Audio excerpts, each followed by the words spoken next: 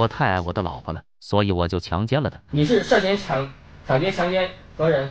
强奸我自己的妻子。是的，你没有听错，他也没有说错。此话一出，直接硬控审讯民警两年半，就连罗翔老师都发出致命提问。光天化日，脸带仿真人皮面具啊，抢劫性侵的已婚女子小燕。小燕发现李四居然是自己三十四岁的丈夫，构成强奸罪吗？而小伙之所以如此自律，竟只是因为自己醋意大发。没成想最后喜提白银手镯一对，还让他遗臭，不是一笑万年。事情发生在二零一三年的泉州，小邵和小燕是在某茶叶厂工作的小夫妻，厂里宿舍就是他们的家。十二月十八日是夫妻俩的公休日，小邵一大早就出门办事，小燕则买完菜后就一直待在宿舍中。在上午九点半左右，一阵敲门声打断了小燕的动作，她寻思是老公回来了，但他开门看到的一幕，把他吓得差点把尿不湿都给尿湿了。那是一个头戴人皮面具的细狗，他二话不说就把刀抵在了小燕的胸前。小燕第一反应就是劫财，所以就把身上剩下的三十五元巨款都给了他，但面具男却没有要离开的意思，随即就把小燕双手捆绑。小燕心想保命要紧，全程都没有反抗。在忍受了大概两分半的屈辱后，面具人慌忙离开了现场。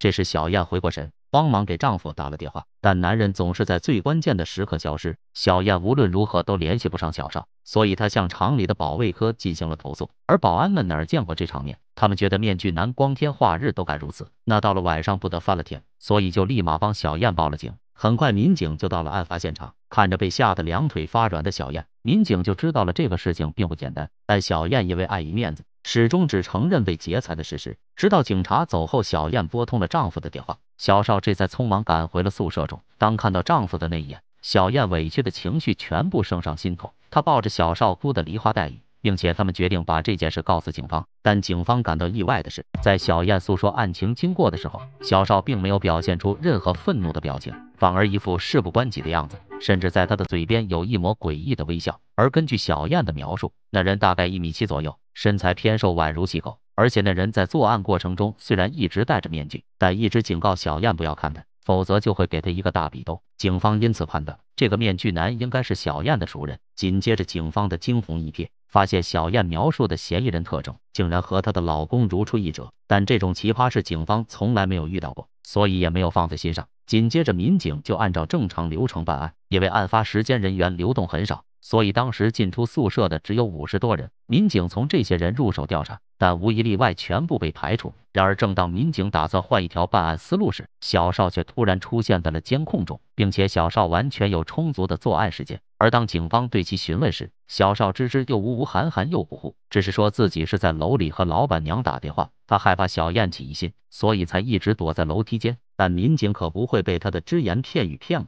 很快就查询了他的通话记录，发现他那天只跟小燕通了电话，一切都证明他在说谎。同时，民警又想起了之前小邵的异常举动，他在警察的调查过程中一直表现出的都是事不关己的态度，甚至在公安局办公室他都要自己泡茶喝。这就说明小邵身上的疑点很大，把他排除在嫌疑人之外是不可取的。但要想证明嫌疑人就是小邵，就必须要拿到小邵作案的证据。这时，小燕给出了一条很重要的线索，那就是在面具男作案期间，还从兜里拿出了一个宝宝嗝屁套。因此，警方打算从这里着手，对附近的小卖部和超市进行排查。功夫不负有心人，民警发现小邵确实出现在了一家超市中，并且购买的正是作案工具，一切都准备就绪。警方随即就对小邵进行了传唤。在即将对小邵询问之前，民警特意留了一个心眼，就是直接问他你为什么要这么做，不是说问他说是不是你做的啊？他当时就愣了，在那边愣了一会儿，后来就自己讲。果不其然，小邵就是在做贼心虚。他看着警察严肃又胸有成竹的表情，小邵最终还是自己招了。你是涉嫌抢。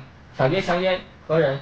强奸我自己的妻子。虽然负责审问的民警已经做好了心理准备，但听到小邵亲口承认的那一刻，还是被硬控在了审讯室俩小时。原来小邵在事发那天早上出门根本就没有事儿，他当天一直在尾随跟踪他的妻子，并在附近的超市购买了作案用的所有工具。之后小燕回到家没多久，他就已经回到了厂子中的厕所。换上了新衣服，戴上了人皮面具。只是小邵也没想到，小燕第一反应竟是掏钱包保命。但小邵害怕被妻子认出，所以全程没有说几句话。办完事拿走所有证物后，匆匆离开了现场。因此，当时小邵根本就不可能接小燕的电话，直到他认为时机已到，才又与妻子取得了联系，回了家中。因为这一切都是他做的，所以他打心底里就没有感到意外。但不得不说，他的演技也太差了，过程中可以说是漏洞百出。后来他在公安局与办案民警的一个深情对视，就吓得他屁股尿流。回到家后就把作案工具全部焚烧，但他还是逃不过民警的法眼。最后被攻破了心理防线，说出了事实真相。而当小燕知道凶手是自己老公时，第一反应就是难以置信。在场的所有人都想不明白，小邵明明可以合法的体验健身项目，为啥要逼自己走违法犯罪的路呢？莫非是夫妻俩有什么特殊癖好吗？其实不然，背后的原因还得从小邵自己的疑心病说起。他们两人是贵州人，已经是结婚五年的老夫老妻。二零一三年时，他们一起到泉州打工，但因为平时的生活压力较大，两人平时没少因为小矛盾吵架。不过夫妻俩毕竟有感情基础，小吵小闹影响不了什么。但突然有一天，小邵发现小燕迷上了网络聊天，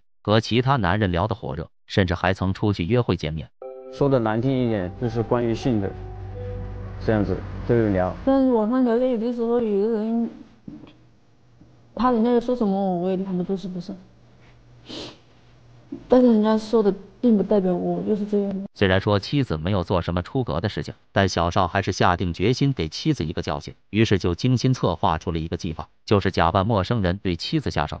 好让妻子长记性，离网上的男人远一些。但就是他这样炸裂三观的做法，不仅让妻子的内心受到了严重的伤害，还害自己吃上了免费的牢饭。那么回到一开始的那个问题，小邵这样的行为到底构不构成犯罪？而根据专业律师的说法，小邵这样的做法确实伤害了小燕，但更多的是夫妻两人的闹剧。但就是他们这种的闹剧，给民警造成了很大的麻烦。而小邵究竟会落得怎样的惩罚？还要当地法院根据情况量刑。如果能够取得小燕的谅解，小邵将会从宽处理。而小邵在看守所的几日也认识到了自己的错误，希望妻子能够原谅他这一次。而小燕也一直在找会发生这件事情的原因。据小燕所说，小邵从小就出生在一个不完整的家庭，性格内向，缺乏安全感，遇到事情总会胡思乱想，这才酿成了他们夫妻俩之间的闹剧。后来在民警的安排之下，两人在看守所中碰面了，在两人的交谈之下。小燕还是选择原谅他。虽然小邵的做法给他的内心造成很大的伤害，但他们背后是一个家庭，为了他们的孩子，也为了这个家的完整，小燕还是希望公安局能网开一面，让小邵能够早日回家。但即便如此，小邵还是要等待公安机关的处理。相信经过这次闹剧的小赵，在以后也会对妻子多一份感激。夫妻之间本身就应该相互信任，有什么事情更要坦诚相待，否则伤了双方感情是小事，对社会治安造成影响就得不偿失了。